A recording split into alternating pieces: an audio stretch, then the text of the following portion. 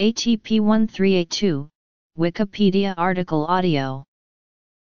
NM0011411973, NM0011411974, NM022089. NM0011643666, NM029097.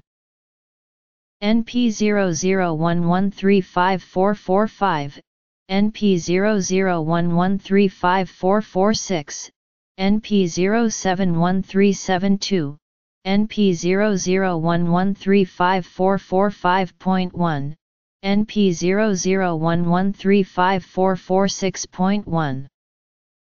NP0011578838, NP083373.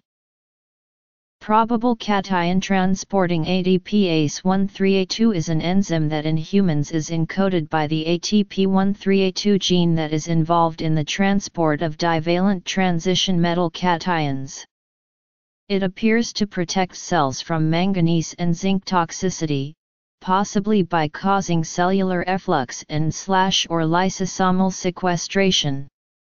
However, it potentiates the toxic effects of cadmium and nickel on developing neurites.